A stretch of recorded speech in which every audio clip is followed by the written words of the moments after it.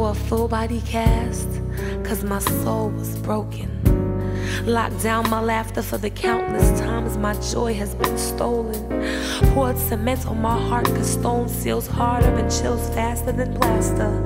And this is the Christian race, the only race where the people behind you always seem to be running faster.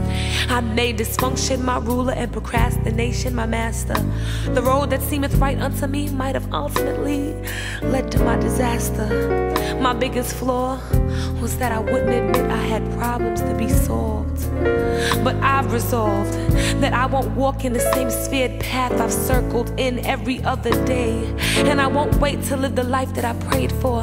And I won't reserve my praise only for Sabbath days.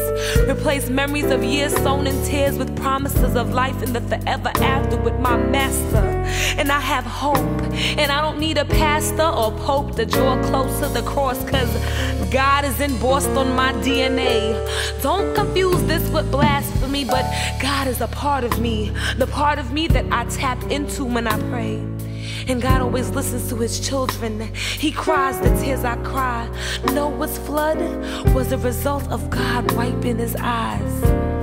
So why do we tip him instead of giving our all? It's like having Jordan, Kobe, and McGrady on your team and never passing the ball.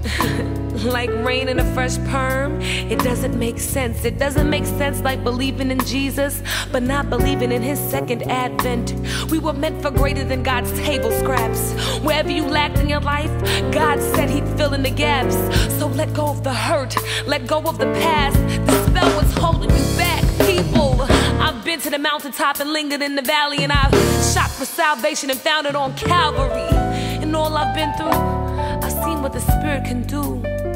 So I'm having Christ tattooed on the soles of my feet so I can walk in his image. Tag conqueror on my left ventricle, on my womb, scribble patience. So I can wait patiently for the gift of life to be given when God deems it best. I'm branding faith with fire on my chest, keeping my torch lit, having a faith so strong that I can do chin ups on it with a smile that speaks sonnets, reaching for heights so high that I cling to comets with stars in my grip. I taste hallelujahs every time I